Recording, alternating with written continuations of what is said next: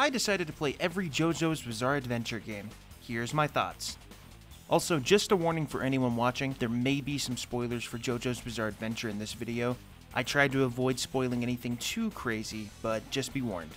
Here we go! JoJo's Bizarre Adventure for the Super Famicom, the Super Nintendo Entertainment System in the West, was released exclusively in Japan back in 1993.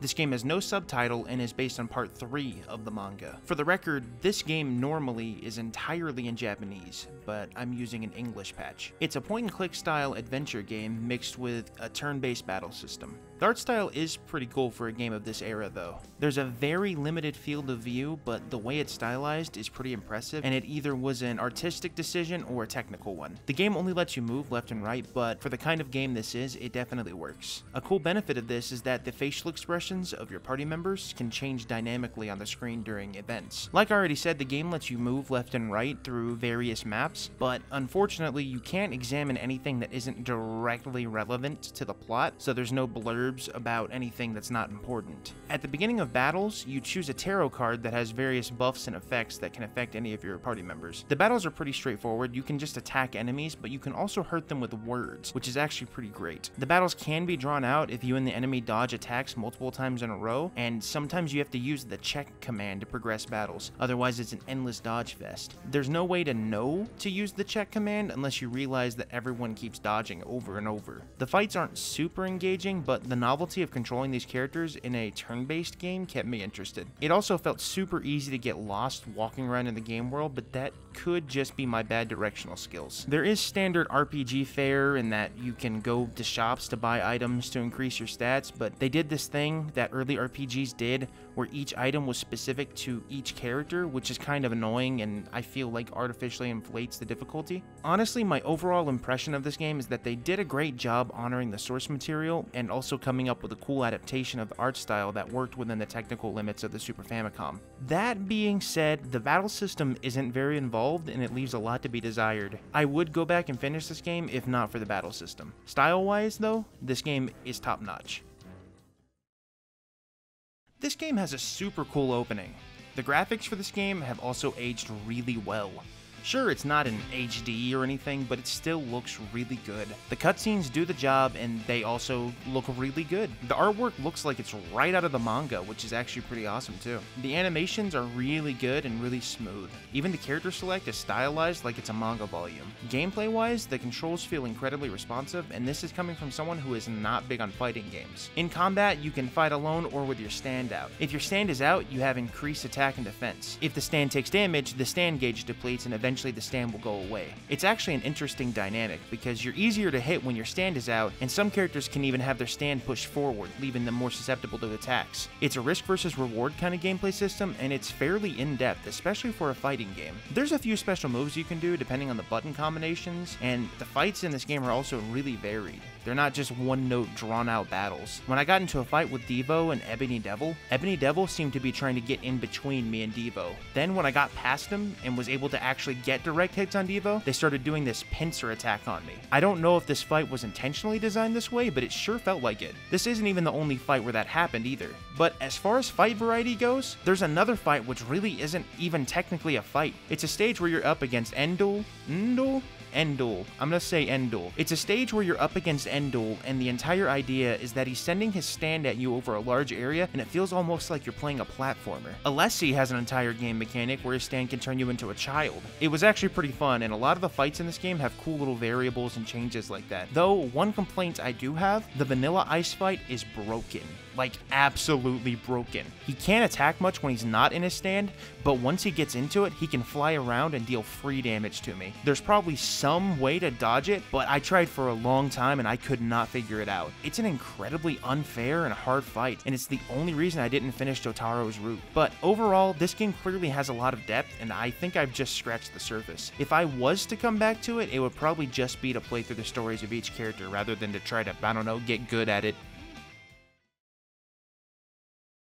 This is a port of not only the original arcade version of the game, but an expanded version called Heritage for the Future. Both versions you can actually play and they're available at the title screen. JoJo's Venture is just the arcade version with no changes that I could identify. The new version is like the arcade version, but expanded with a few new characters and modes. Arcade mode has two variations, one is called Challenge and the other is called Story. In Challenge mode, there's no cutscenes, just fight after fight after fight. After each fight, you have the choice of either replenishing your health or increasing your special move move gauge. Story mode is basically the same as the arcade version. Finishing challenge mode as various characters is how you unlock special characters, like a young version of Joseph Joestar, which, in my opinion, is actually super cool. Of course, since this is a home release, there's a training mode and some options like difficulty, sound, etc. There's also a straightforward versus mode meant for just two players duking it out. Finally, there's a mode you can unlock called Alessi mode. What Alessi mode does is turns everyone in versus mode into a child. It's really cool and kind of fun looking at all the child movesets of the characters. For giggles, I decided to see what happens when you use this on young Joseph, and it just turns him into what I assume is a student? Whatever this reference is, I don't understand it, but it is pretty cool. Overall, this game is definitely an improvement on the arcade version, and if I did come back to play the stories for each character, this is definitely the version I'd come back to. JoJo's Bizarre Adventure Golden Wind is a PlayStation 2 game that never got a release outside of Japan. I'm actually emulating this and using an English patch, but normally everything would be in Japanese. It's an adaptation of part 5 of the manga. My initial impressions, this game looks really good. The art style has aged really well for a PS2 game. It actually really does justice to the original creator's art style. It's a story-based beat 'em up that's broken down into individual arenas where you fight enemy as Giorno and his stand Golden experience, and also his gang with their respective stands. What's cool is that the fights aren't always just straight up punching and using special abilities though. For example, one of the early fights, just like in the story, is against the stand Black Sabbath. His ability allows him to travel through shadows, meaning you can't just run up on him because he'll always have the advantage. Instead of taking him on in a direct fight, you have to make him use the shadows of birds above you to bring him to the shadows of these smaller pillars that you can smash, which then leaves him vulnerable. This kind of fight variety is really excellent, and this game is just a lot of fun because of it. The story seems to more or less follow Part 5 to a T, which is fine because the story is excellent and the gameplay is fun. Obviously, some stuff is glossed over, but a page for page retelling probably wouldn't be conducive to making a fun game anyways. As you engage in each fight, there are secret actions you can do called secret factors. They work kind of like an achievement system. They can range from using a certain attack at a certain time or just engaging the fight in a certain way. For example, I got one for unsuccessfully attempting to summon my stand in Illuso's Mirror World. At the end of the missions, you get a point tally, and unlocking these secret actions gives you bonus points. When you complete missions, you unlock stuff relating to that mission in a gallery that can be accessed from the main menu. This gallery is pretty cool. It has concept art for the maps which look really similar to the final product. But what's super cool is you can actually revisit the stages you've already completed without any enemies just to explore them. There's not a whole lot to it, but it really lets you appreciate some of the details you'd otherwise miss, and I really wish more games did this kind of thing. Then there's story dramas in the gallery, which are fully voiced scenes with full color manga panels that cover parts of the story that the main game doesn't. These are awesome and I spent a lot of time just watching them for fun, completely forgetting that I was recording footage for this video. The presentation of this game is great. It's actually a huge shame that this never came to the West because it's actually an excellent game, and if you can get your hands on a copy, it is well worth it. I had a lot of fun playing this and absolutely plan to finish it at some point. This game had so much potential. Now listen, it's not a bad game, but let me explain.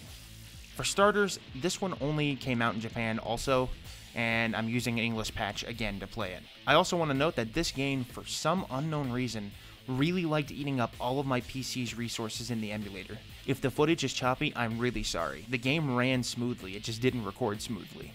Anyways, moving on. This game is a single player brawler, and it seems to cover the entirety of Part 1 Phantom Blood. It's entertaining to watch the long cutscenes, but the gameplay itself leaves something to be desired, and that's an understatement. The cutscenes are fully voiced and pretty dynamic and involved as far as storytelling goes. I really like them, and I think they're the best thing about this game, and a reason I'd imagine super fans or just JoJo fans in general will want to play it. Well, aside from the short, fully animated cutscenes, those are not very good and are just laughable at best.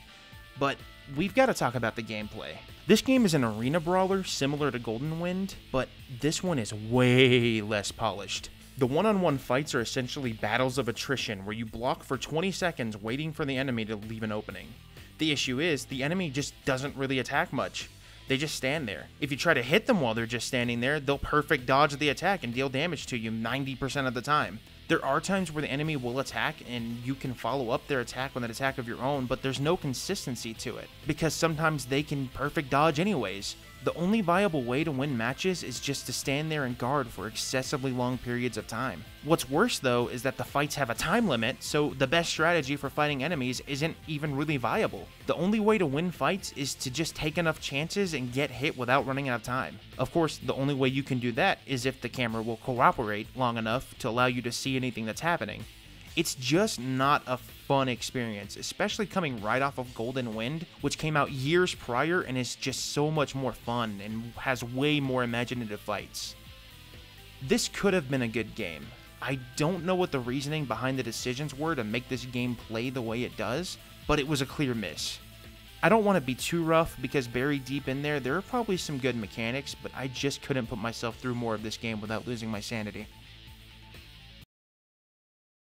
The intro of this game gives me the same vibes as the intro of the anime, and I love it a lot. The title screen of this game has a different character say the name of the game every time.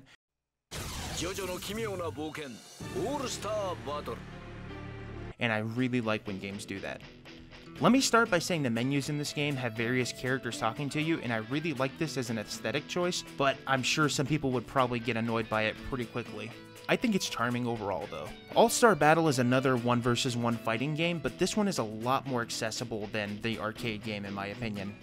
The game allows you to chain combos just by mashing, so people like me who are bad at fighting games can actually get more out than a couple of hits. It looks like you have your main attacks and then also stand attacks with various effects. Summoning a stand seems to work kind of like how it did in the arcade and Dreamcast game, but just visually. I don't know if there's actually a gameplay difference. The game has a pretty good variety of single player modes. The first is story mode. In this, you can choose which part you want to progress through. Each part, in general, follows the story of the manga. The one exception is Part 8, which I assume is due to there not being much story available at the time this game was being made. Once you complete the missions, you can go back and redo any of them in any order. The missions sometimes have special modifiers too, like boosting an enemy's attack. There's also secret missions that give you more money if you complete them within the mission you're doing, kind of like the secret factors from Golden Wind. Before you begin the mission, you can spend some of your gold on a support item that gives you various buffs or gives the enemy a debuff. Campaign mode is kinda weird. It's a mode where you're put on an online leaderboard and fight CPU versions of other players. It uses an energy system that depletes when you find new fights, and it feels like they were testing some kind of strange free to play mechanics in this full price title. Doing these battles unlocks cosmetic stuff, but it feels like these things were arbitrarily locked behind this mode. It's an okay mode, I guess, but I really don't see myself coming back to it. Oh, I forgot to mention, some stages have a gimmick, which is just where something can happen on the stage that can damage you and the enemy if you're caught up in it. You can usually see where the gimmick will happen on the ground of the stage, and if you avoid it the whole fight, sometimes it just doesn't happen at all. Also, also, sometimes if you defeat an enemy in a certain way, you get something called a dramatic finish. This is just a flashier finish with some cool references. They're a bit tricky to figure out, but fun to see once you do get them. For the remaining modes, there's arcade mode and versus mode. These are pretty straightforward. In arcade, the difficulty options are normal, hard, and very hard, and you can choose whether or not the stage gimmicks happen. You complete 8 fights and get a rank at the end. It's about what you'd expect, but I'm glad the mode is here. In the versus mode, you can choose to play offline or online against people. Offline, you can either play against another person or a CPU, or I guess also a CPU versus a CPU if that's something you want to do. The cast in this game is huge, and that's before the DLC. There's characters from all 8 parts of the series, and every part is well represented. The only one that doesn't have a variety of characters available is Part 8, and that's probably because Part 8 was still relatively new when this game came out. I do have to point out that there are quite a few characters that are locked behind a $2 DLC purchase for each character, but the cast is already pretty big without them, so I can't complain too much. There's a gallery mode which lets you look at 3D models, artwork, music, and sound effects. You can use the money you earn from doing missions to buy these, and honestly, they're pretty cool. There's reference artwork that looks like it was made by the author himself, and it's cool to compare it with the eventual 3D model. Again, like the Golden Wind game on PS2, I feel like a lot more games could use modes like this. One last thing I do want to note is that this game has some really cool character interactions. Like pitting a young Joseph versus an old Joseph gives you a special interaction, or having Jonathan Joestar face Part 3's Dio, or heck, Part 1 Dio versus Part 3 Dio. Some of these are pretty deep cuts, and it says a lot about the development team who clearly had a passion for the lore of JoJo's Bizarre Adventure. These interactions are just icing on the cake though, and I think this game is something special. All-Star Battle is what I'd consider the complete package if you're a JoJo fan. It's got a pretty great story mode, a huge selection of characters, and some fun gameplay that's accessible to beginners but clearly has some depth. I think the only issue is that this game may be harder and harder to find as time goes on, so hopefully someday they bring it over to newer consoles, but I wouldn't hold my breath on that one. スタンドだと面白い試してみろ You can tell right away that this game took a lot of cues from All Star Battle. This game is a 2 vs 2 arena fighting game. You have complete control over where your character goes, and you have a lot more freedom of movement in general since there's jumping. The moves in general have a lot more movement involved since there's so much wide open space in the arenas, and it can lead to a lot of chaos. So much chaos, in fact, that sometimes it's actually kind of hard to tell what's going on. Since it's 2 versus 2, there's a lot of fun combo attacks and even some flashy moves called dual heat attacks, where the characters you're using work together to do a cool move that does tons of damage. Something I really like is that almost everyone has special dialogue for interacting with their partner in this game.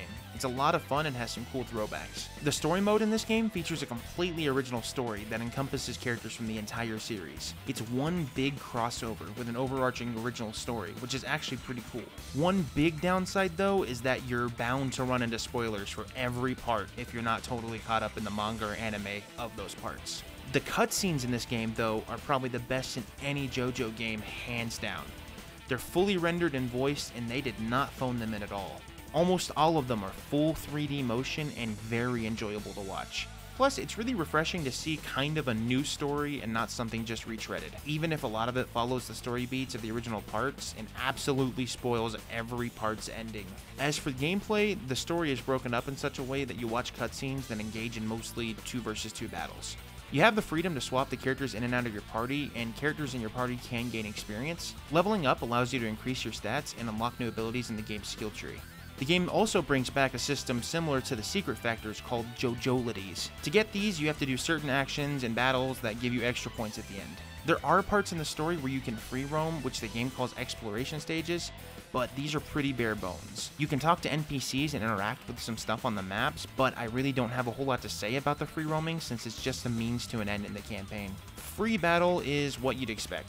2v2 player versus CPU. Unfortunately, there doesn't seem to be a way to do local multiplayer. That is something that's a no-brainer and I'm not sure why they decided not to include it. Keeping with recent tradition, there is a gallery mode in this game and it's really similar to All-Star Battles. There's also a shop where you can buy all kinds of stuff, including alternate colors and costumes using the game's currency. On that front, it is a bit better than All-Star Battles. This game, aesthetically, is very similar to All-Star Battle. That being said, I can't really say this game is better or worse than All-Star Battle because they play completely differently. This game has way more fan service though, so I'd probably recommend it more than All-Star Battle if you're a big JoJo's Bizarre Adventure fan and you're looking for something that's kind of new material and fresh. Plus, the story is more than just a retread, and if you're someone who's already consumed all the official JoJo's Bizarre Adventure media, this is something new that was apparently written by the author Araki himself.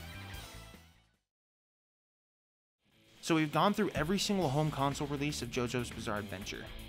There are a couple of games that I could not play, but let me explain. The first would be the arcade game JoJo's Bizarre Adventure Last Survivor. This game I could not play because there's just nowhere for me to play it. It's an arcade only battle royale game where you can control various characters from the franchise, and that's really all I can say about it. If there was a way for me to play it, I would, but right now it seems like the only option would be to go to Japan and find an arcade cabinet. Another thing I've got to talk about are the mobile games. There were three of them, and all of them are no longer available. In fact, I'm recording this in September of 2021, and the most recent game, JoJo's Pitter Patter Pop, is no longer available as of the first of this month. I missed it that narrowly. I tried to install all three of them on my Android phone, but unfortunately they're tied to a server that no longer exists and are all unplayable offline. I can't stand when game companies do this, and I really think this kind of thing sucks for game preservation. But that being said, this is the end of the video. I hope you liked this overview because I really enjoyed making it. and I would love to make more. Please let me know if there's any game series you'd like me to play in the future, and I might do it in a future video if there's demand for it. Also, my channel is pretty small, so I'd appreciate a subscription if you like this kind of stuff, and if you can like the video or whatever metrics YouTube wants now. I'm releasing it to basically no audience, so if you are watching, just know that I really appreciate you and it means the world to me. Anyways, thank you for watching, and I hope you have a fantastic rest of your day. Bye now!